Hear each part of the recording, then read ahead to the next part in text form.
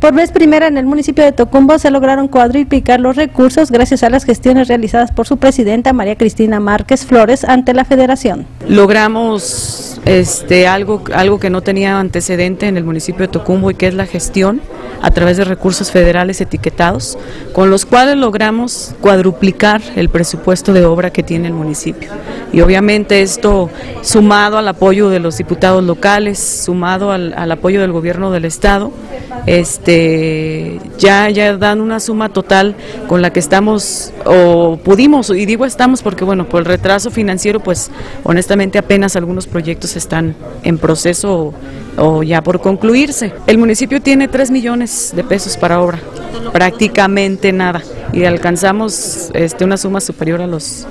con recursos federales únicamente, fueron aproximadamente este, 12 millones con recursos etiquetados, pero ya sumado con los otros apoyos que mencionaba, logramos ejecutar un monto superior a los 18 millones de pesos. Por ello, al rendir su segundo informe de labores, pudo informar a los tocumbenses de las obras que les beneficiarán pero pudimos atender demandas añejas, demandas de muchos años, obras, proyectos este, de gran impacto social eh, y que obviamente pues ahí están, a la vista de todos. Pavimentación de la calle de acceso al Panteón de Santa Clara, una obra que yo les decía de por sí este, de más importante ya que se trata de un paso obligado. Eh, pavimentamos en la cabecera municipal este, la,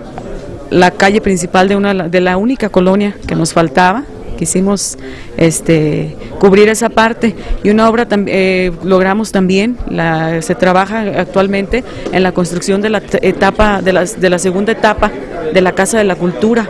en la tenencia más grande que representa un 60% de nuestra población, donde tenemos altos índices de delincuencia, de, de deserción escolar. Y desde el año pasado a través de gestiones con el gobierno federal pudimos realizar la primera etapa, este año se realizó la segunda etapa. Con esa base espera que para el próximo año puedan continuar llevando beneficios. Vamos por más, tenemos proyectos este, eh, muy importantes como lo es la construcción del panteón municipal, en, en, la, precisamente en la tenencia más grande, ya está este, prácticamente al 100% y este, uno de los proyectos que queremos llevar a cabo este próximo año es eso, la, construcción de un nuevo panteón. Queremos llevar a cabo la remodelación de la plaza